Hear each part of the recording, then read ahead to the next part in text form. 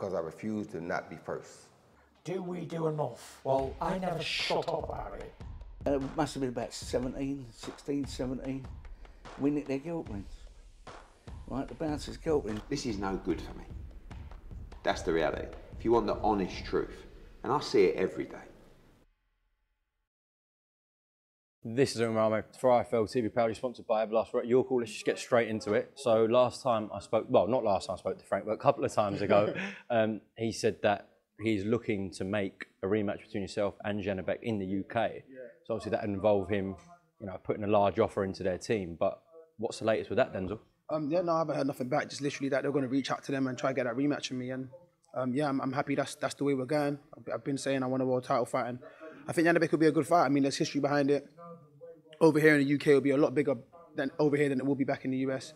And listen, no one's in a rush to fight him, so he's going to need to fight at some point. So why not just fight me again? I mean, we had a good scrap, a good little match up um, the last time out, so I think it'll be entertaining. I think people would want to see it and look forward to it. Why would it be different this time?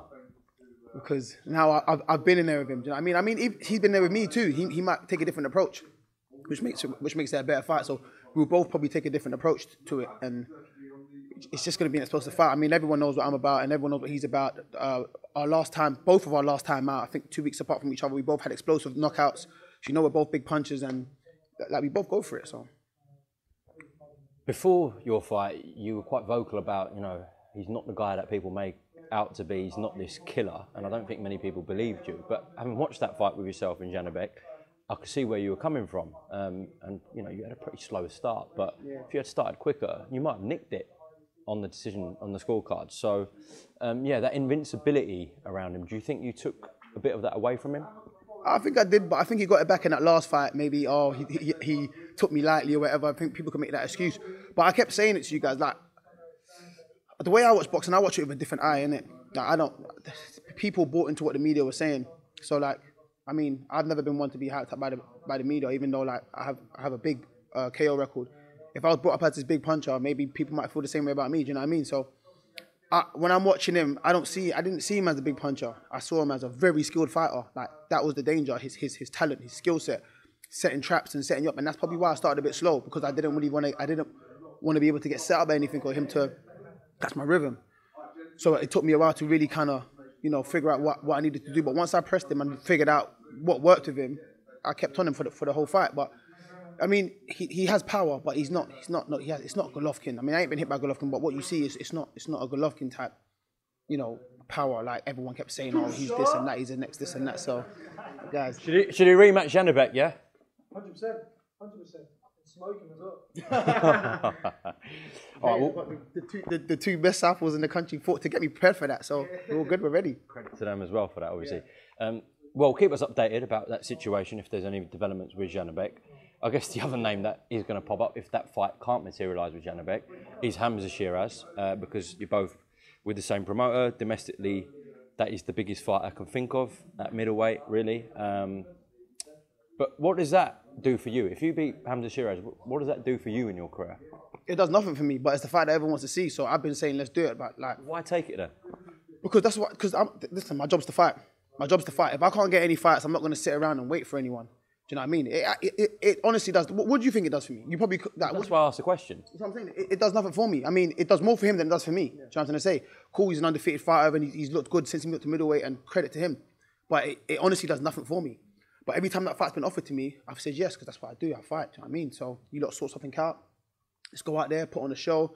You know, uh, a, a, big show, whatever it may be, and, and, let's get on. But my ultimate goal is to be a world champion. So I want to chase that Janibek fight first, or whoever else is a world champion now first. You know what I'm saying? I'm, in my last fight, I did mention Lara's name because he's, he's been upgraded to full world title since Golovkin's vacated. So that's what I want to do. But if that's the path, path I've got across to get there, why not? But that fight just seems like all talk, nothing materialized, nothing's been sent, nothing else has been really offered. So I'm just on my quest to be a world champion. So whatever he does, I, am not really, I don't really care. But if we need to fight, then I'm, I'm with it. But I want Janibek.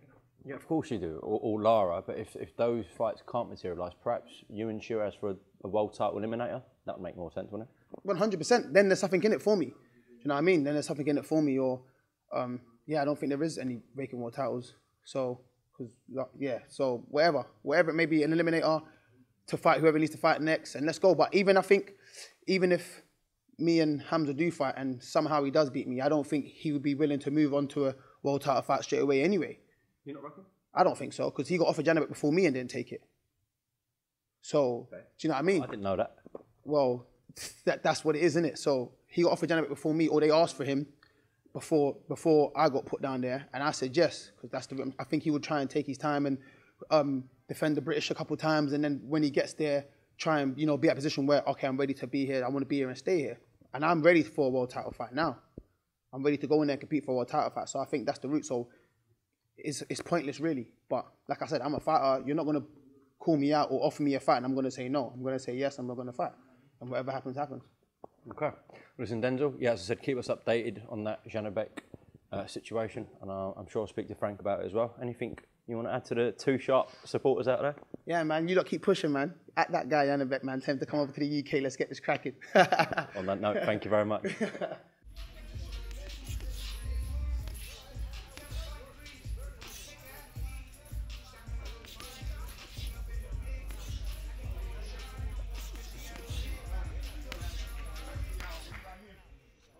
Because I refuse to not be first. Do we do enough? Well, I never shut up about it. And it must have been about 17, 16, 17. We nicked their guilt rings. Right, the bouncers guilt rings. This is no good for me. That's the reality. If you want the honest truth, and I see it every day,